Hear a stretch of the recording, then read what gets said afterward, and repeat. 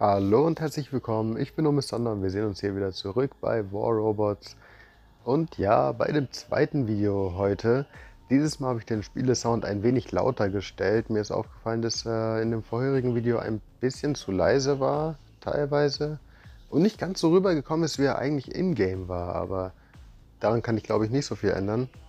Ähm, ich lade heute deswegen zwei Videos hoch, weil ich mit dem ersten Video A nicht ganz super zufrieden bin, dieses aber nicht, nicht, nicht hochladen möchte, sondern ich möchte es trotzdem hochladen und ja, aus diesem Grund mache ich jetzt noch ein zweites Video. Ich werde schauen, ob ich äh, es schaffe, täglich Videos hochzuladen, so wie früher. Denn im Gegensatz zu den GTA-Videos sind diese Videos hier nicht nicht allzu schwer zu erstellen. Ich meine, bei GTA hat es immer gebraucht, bis man die Clips hatte, bis man ja, die Kämpfe ähm, hatte. Und hier ist es eben nicht so. Hier kann ich basically einfach nur ein Game starten, nehme das auf und das war's dann. Dieser Capri ist eigentlich voll Meta, Maschine, bla bla, aber ich mag ihn nicht wirklich. Also ich kann ihn, ich komme mit dieser Bewaffnung nicht wirklich so klar auf dem. Keine Ahnung. Jetzt aktiviere ich mal hier Heilung. Ich kann nicht zu irgendwem linken. Ich link mal zu dem Buddy. Oh, hier ist ein Fenrir. Diese, oh, ich treffe fast gar nichts mit diesen Waffen. Also ich komme echt damit Zero klar. Gar nicht. So übel nicht meins. Dann hier noch mit diesem Target Switch. Nee, Mann. Nehmen wir jetzt einfach mal den Behemoth und kloppen von der Position da oben einfach Raketen hier runter. Weil die ignorieren Resistenz. Und wenn du mich ein bisschen schneller machen könntest, aber deine Fähigkeit läuft ja gerade eben schon. Wum, wum, wum, wum, wum, wum, wum, wum, wum, wum. Wum, wum, wum. Ich ignoriere deine Resistenz. Es bringt nichts, wenn du gegen mich leadscht. Komm schon, komm schon, noch eine Bombe, noch eine Bombe. Oh, er hat sich geheilt. Okay, er wurde vom Airstrike geholt. Wer versteckt sich hier? Fenrir. Schön die Airstrikes reinbomben. Also nicht Airstrikes, sondern hier Bombeffekt. Bots. Jetzt den Last End ausgelöst. Und danach Heilung und dick die Bomben rein kloppen, wieder lockdownen und weg ist er. Je nach bekomme ich vielleicht sogar ah, 70% reicht glaube ich nicht ganz. Nope. Ich brauche noch ein bisschen für mein Schild. Aktiviert jemand Stealth. Braucht er sich her? Scheinbar nicht, nein. Ist ein Revenant. Er hat gerade ein Schild. Oh, hier ist ja auch noch ein Revenant. Der mich gar nicht sieht. Oh, aber der sieht mich. Mm, das ist nicht gut. Hau doch ab, ich will deinen Kollegen killen. Verdammt. Die Sache ist, meine Waffen, die... Der Hauptschaden kommt halt durch diesen Bombeneffekt. Und der Revenant, wenn der sich teleportiert, ist der, glaube ich, für 9 Sekunden oder so ähm, immun gegen alle negativen Effekte. Aber einem Puncher Puncher Behemoth sollte man sich nicht ins Gesicht porten, auch wenn man ein Revenant ist. Es ist ein bisschen arg. Auch wenn du krasse Waffen drauf hast, man sollte sich einem Puncher Behemoth nicht ins Gesicht porten. Das ist hochgradig ungesund. Ah, jetzt hat das Schild. Vor allem nicht, wenn dieser Behemoth Titan-Unterstützung hat. Klar hat er mir hier Leben abziehen können, aber es hat ihn gekillt, basically.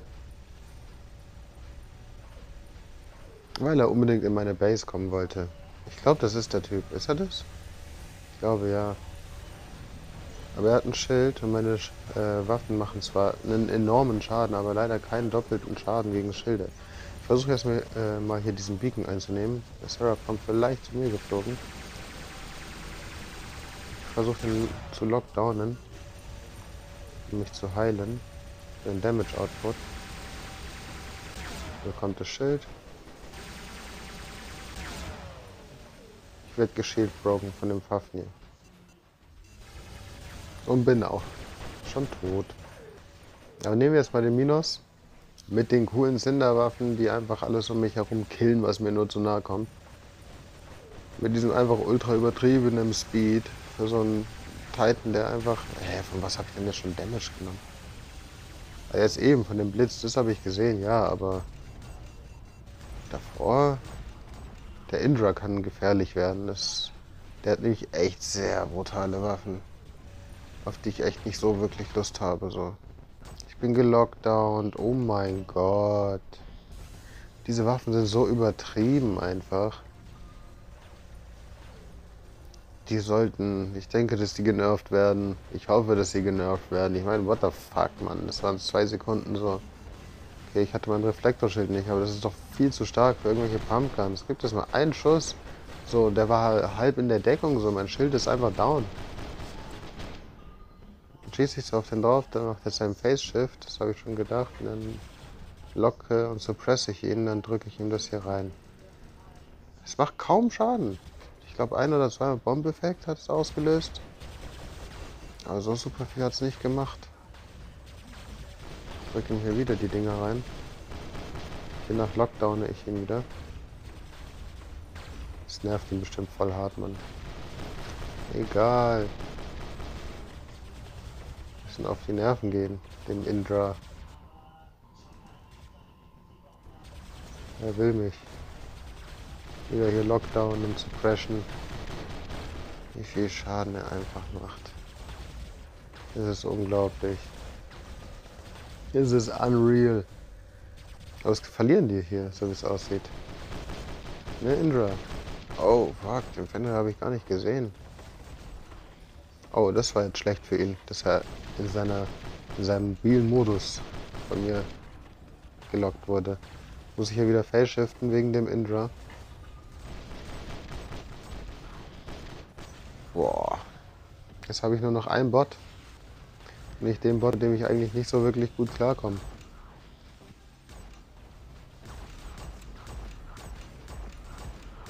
Aber der geht eigentlich schon. Die Waffen sind auf Level 9, also die Havocs hier. Und der Ravana ist, glaube ich, auf Level 4 Mark 2 oder Level 3 Mark 2, das heißt ein Behemoth. Er ist langsam, das heißt, ich kann den Beacon hier einnehmen, bevor der da ist. Das ist ein schneller Behemoth. Auch wenn Behemoths langsam sind. Ich kann mir hier ein Schild geben. Der Endra attackt mich hier. Ich laufe einfach weg. Mache dann meinen ultra langen Phase Shift und mache dann wieder meine Fähigkeit und hau basically einfach ab, ohne, ohne wirklich großartig Schaden zu nehmen. Nimm dann den nächsten Beacon ein. Weil die Gegner sind hier ziemlich Beacon... Nein! Ah, verdammt, ich habe es nicht mehr geschafft, ein Schild reinzukommen. Der Indra Titan lebt einfach immer noch, aber jetzt ist er tot. Nice. Was ist das? Ja, das ist der Behemoth. Vielleicht kann ich ja richtig auf nahe Distanz. Das ist ein Puncher Behemoth, auf, äh, mit dem man eigentlich nicht auf nahe Distanz gehen will. Aber jetzt ist er gerade leer, muss 5 Sekunden laden und jetzt ist das Gefecht auch schon gewonnen. Okay. Er hätte jetzt 5 Sekunden laden müssen. Aus diesem Grund hätte ich da noch ein paar Schüsse mehr reinpumpen können der Moment, wenn man mit 3,3 Millionen Schaden einfach letzter ist. Aber das ist auch krass, so wie viel mehr Schaden man macht. Ich meine, früher, so vor vier Jahren oder so, da war es krass, wenn man so eine Million oder so eineinhalb Millionen Schaden gemacht hat. Und jetzt ist es so, ich meine, ich sehe Leute, die haben so 5 Millionen Durchschnittsschaden. Das ist schon, das ist schon sehr hart. Und mit 5 Millionen Durchschnittsschaden. Ja, die haben dann natürlich alles auf Mark 3 und sowas. Aber es wäre früher halt einfach undenkbar gewesen. Ich denke, früher hatten, hatte ein Team nicht einmal genug HP, dass ein Typ ähm, 5 Millionen Schaden anrichten kann. Ist da ein Schild? Was ist es? Ein Mars. Ich kann den Shield breaken. Das ist gut. Da ist aber ein Seraph. Es ist relativ wahrscheinlich, dass der Mars. Ähm oh, der Shield breakt mich auch. Aber mein Damage Output ist dann halt leider mal höher. Ein bisschen. Weil diese Waffen sind schon ein bisschen sehr krass. Oh, er heilt gegen. Stirb. Stirb. Stirb. Mein Gott, hat mir das Leben gezogen. Meine Güte. Aber der Beacon da ist nicht eingenommen. Sie konnten den Beacon nicht einnehmen. Aber der eine, es waren zwei Mars? Der wird jetzt auch geshield broken. Es ist schon krass, wie übertrieben stark ein Mars sein kann. Aber wie schwach oder wie schnell der dann einfach tot ist, wenn jemand ihn mal kurz shield breakt. Das finde ich schon sehr insane. Zum Beispiel, da läuft der Mars. Er weiß vielleicht nicht, was ich habe. Vielleicht weiß er, was ich habe. Vielleicht schmeißt er gleich seinen Turm irgendwie um die Ecke. Vielleicht will er mich auch Shield breaken. Das ist ein Mars. Er schmeißt sein Türmchen. Das Türmchen, das macht schon einen guten Damage. Dann fliege ich hier nach oben, aktiviere Heilung für einen extra Damage. Und er macht den Phase Shift. Er macht den Phase Shift. Okay. Sein Türmchen. Ah ne, da unten ist ja noch ein Ding. Was hat mich jetzt gekillt? Fainter Mark II. Der Mars mit dem Fainter Mark II. Okay, dann nehme ich jetzt auch mal mein Mars. Dann haben wir den Irreboss mit Prisma, wie es aussieht, aber der ist auf der Map jetzt nicht so super, so super, super nützlich. Soll ich jetzt den anderen Mars hier challengen, weil der ist schon ein bisschen angeschlagen, hat gerade auch noch einen Airstrike auf die Nase bekommen. Schmeiß jetzt auch seinen Turm hier hin. Weißt du was? Dann schmeiße ich jetzt auch meinen Turm bei, bei, bei dir da hinten hin, mein Freund. Siehst du hier? Cool, hä? Ein Türmchen für dich. Er hat halt jetzt auch so Doppelschilde, so wie das, was ich hier immer mache mit meinem Nordlight Battleschiff. Komm schon, Lockdown? Ja, Mann, er wurde gelockdownt. Ach, da kommt der Ball. Er entfaltet sich. Ich weiß nicht, er, er hat gar keinen Schaden gemacht. Wieso entfalten die sich? Das verstehe ich manchmal nicht. Denn es hat ihm gerade gar nichts gebracht. Er ist einfach nur gestorben, deswegen. Oh, das sieht cool aus. Hier erstmal noch ein Schild unter mein Schild. Wird wahrscheinlich hier diese. Das wird wahrscheinlich der Erebus sein mit den Stellar Prisma. Die haben diesen. Ah, das ist ein Fenrir, kein Wunder nimmt der keinen Damage. Ah, aber warte, wenn das hier ein Fenrir ist, wenn du den Beacon einnehmen willst, hier. Siehst du das? Das ist Spielzeug für dich. Der steht da und schießt dir jetzt ins Gesicht ein bisschen. Oder euch beiden, das sind ja zwei kann die beiden jetzt nicht im Nahkampf davon abhalten, jetzt den Beacon aufzu, äh, einzunehmen. Deswegen gehe ich jetzt, oh, das ist ein Ravana, das ist ungesund. Oh. Obwohl mein Damage Output ist mittlerweile gar nicht mal mehr so niedrig. Bin schon auf 63 Amplified. Hab jetzt hier sogar den Beacon eingenommen. Theoretisch kann ich eigentlich auch einfach das Türmchen hier hinstellen, wenn ich so einer kommen will. Zum Beispiel so und dann einfach weglaufen, einen anderen Beacon einnehmen. Ein anderes Schild schützt mich. Mein Türmchen hat gerade eingekillt. Mein Türmchen steht jetzt da erstmal auf dem Beacon und schießt auf alles und jeden, der da irgendwie den Beacon einnehmen will. Ich gebe jetzt mit dem Hawk mal ein Schild und nehme jetzt den Beacon da unten ein. Jetzt ist das Türmchen wieder zurück auf mir. Aber wir verlieren halt. Wegen Beacon. Wegen den Beacons. Das ist sehr unangenehm. Da ist ein Revenant, der auf mich gejumpt ist. Er denkt, dass er irgendwie cool ist. Er darf auch Spaß mit meinem Turm haben. Und Spaß daran haben, dass er nicht durch mein Schild kommt. Hä? Ist schon nervig, gell, wenn man nicht durchs Schild durchkommt. Da kommt jetzt ein Luchador. Der hat ein bisschen mehr Feuerkraft. Ich gebe mir mal noch ein Schild unter meinem Schild. Hm, hat er sein Reflektorschild am Laufen? Sieht nicht so aus, ne? Ne, er ist gelockdownt glaube ich, oder geslowt, irgendwas. Er schießt ja auf jeden Fall volle Feuerkraft von seinem Luchador. Jetzt hat er noch eine Million Schild, gegen die er kämpfen muss.